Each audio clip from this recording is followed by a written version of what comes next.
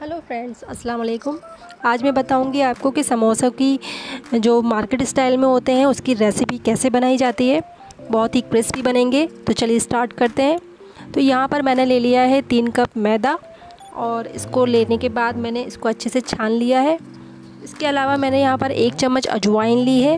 उसको मैंने हल्का सा रोस्ट कर लिया है और साथ में लिया है सॉल्ट हाफ़ कप के बराबर लिया है मैंने इसमें घी।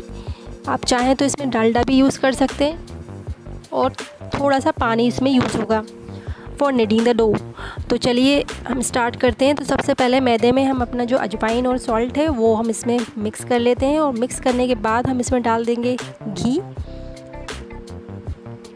घी की क्वांटिटी इतनी होनी चाहिए कि उसको मिलाने के बाद बिना पानी मिलाए अगर आप उसको मुट्ठी बांधें तो वो इकट्ठा हो जाए। जैसे मैं अभी आपको बताऊँगी। ये मिक्स कर लिया है। और जब मैं इसको हाथ में इकट्ठा लूँगी तो ये एकदम से मिक्स हो जाएगा। ये देखिए, इस टाइप से पूरा इकट्ठा हो जाए। अलग अलग ना रहे। अब मैं हल्का सा पानी डालूँगी ताकि सेक टाइट डो बन जाए। मैंने दो चम्मच के बराबर इसमें पानी डाला है और ये अच्छा टाइट डो बन गया है। ये देखिए, इसको नीट करने के लिए पाँच मिनट हो चुका है टाइम अब इसको हम थोड़ी देर के, थोड़ी देर के लिए ढककर रेस्ट करने के लिए रख देते हैं और जब तक हम इसकी फिलिंग तैयार करते हैं। फिलिंग के लिए सबसे पहले मैंने लिया है एक चम्मच क्रश्ड धनिया खड़ा और ग्रीन चिलीज़ है, सौंफ है, ज़ीरा है, हल्दी पाउडर है और एक चम्मच चाट मसाला है।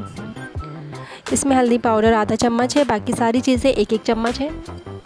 आप चाहें तो इसमें अमचूर भी यूज़ कर सकते हैं। और यहाँ पर मैंने हरा धनिया लिया है और बॉइल्ड पटेटोज़ लिए हैं। तो सबसे पहले हम पटेटोज़ को मैशर की हेल्प से हल्का सा मैश कर लेते हैं, ताकि इसके जो बड़े बड़े पीसेज हैं वो भी हमें दिखें। ज़्यादा हमें मैश नहीं करना है।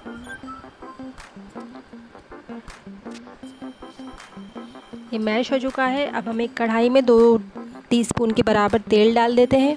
और जितने हमारे सूखे मसाले थे, ज़ीरा, सौंफ, हरी मिर्च, चाट मसाला, हल्दी, ये सब हम इसमें डाल देते हैं। एक दो मिनट चलाने के अब हम इसमें अपने आलू मैश कर देते हैं और इसको भी हमें ज़्यादा नहीं बना, पकाना है। बस हल्का सा इसको एक मिक्स करना है। इसमें सॉल्ट डालें और हरा धनिया डालें और एक बार फिर से इसको मिलाकर इसको एक बॉल में निकाल लें। ये हमारी फिलिंग बिल्कुल रेडी है और ये हमारा आटा है, इसको हम एक बार और नीट करेंगे अच्छे से ताकि ये जो अलग अलग दिख रहा है सूखा सूखा सा, वो ना लगे। और ये नीट करने के बाद ये आटा हमारा बिल्कुल रेडी है। अब हम इसकी बॉल्स बना लेते हैं। तीन कप मैदे में आपकी कम से कम पंद्रह या सोलह समोसे अच्छे साइज़ के दस रुपये वाले बन जाएँगे। अब हम इसको बेल लेते हैं। इसको ना ज़्यादा पतला बेलना है और ना ही ज़्यादा बहुत मोटा बेलना है। इसको मैं आपको बताती हूँ, इसको कितना आपको ठीक बेलना है। इसको बीच में से कट कर देंगे अब हम। ये देखिए, इसकी एजेस आप देख सकते हैं, इसको हमें इतना ही मोटा रखना है और आपको मैं एक समोसा फिल करके पहले बता देती हूँ। तो सबसे पहले इसकी एजेस पर हम थोड़ा सा वाटर अप्लाई करेंगे, जिससे कि ये चिपक जाए और अच्छे से कोन बन जाए। इस टाइप से इसका कोन बना के रेडी कर लेते हैं। ये देखिए, अब हम इसके अंदर डाल देते हैं हमारी फिलिंग। फिलिंग में आप जो दिल चाहे वो यूज़ कर सकते हैं, लेकिन मुझे जो आलू वाली फिलिंग है, वही ज़्यादा अच्छी लगती है। और इसकी एजेस पर भी हम पानी लगा लेंगे और इसको ऊपर से भी अच्छे से स्टिक कर देंगे। इसे बीच में एक हल्का सा फोल्ड देंगे और फिर इसको चिपका देंगे। तो ये समोसा हमारा बनकर रेडी है।